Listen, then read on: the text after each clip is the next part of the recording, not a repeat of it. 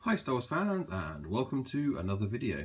Well this is a very nice little stocking filler um, I had for Christmas 2014 from my my amazing fantastic wife who um, sources out some very cool items for my collection. Um, do check out my Christmas 2014 um, haul video. It's um, obscene, it's amazing and I was very very spoiled and uh, I do know this so you don't need to tell me. um, so uh, yeah, anyway, these these uh, came as part of that um, Christmas mega haul, and they're made by a company called Crazy Toys. You may be aware of this company. I wasn't until this point. Um, but uh, these on there, they came from eBay, and they weren't mega expensive. Um, but um, I know you shouldn't ask how much Christmas presents are, but I had to because I thought, wow, they're actually really good value.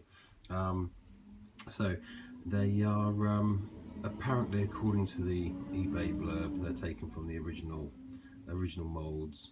Um, whether they are or not, they might they might be molds of molds of molds that were created from a dismantled vintage figure. Who knows? But um, I don't care because they actually look really good and I like them a lot. So um, I I really don't mind. I don't. Yeah, I think they look very very cool. So going nice and close on those.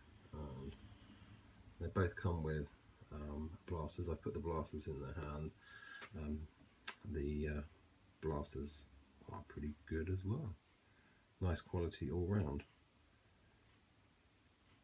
So I'll let that spin and you guys can check them out. They do have the uh, the 1977 leg stamp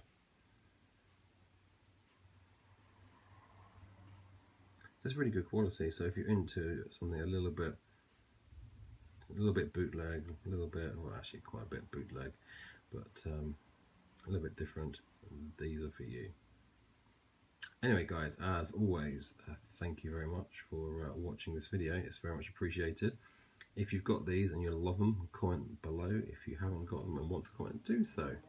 That's what we're here for uh, check me out on Twitter at some point. That's where my um, toy hunting escapades are very well documented. And get out there and find bargains. I always post them on Twitter so you guys can make the most of Star Wars bargains. As always, thank you very much for taking the time to watch and may the force be with you. Bye for now.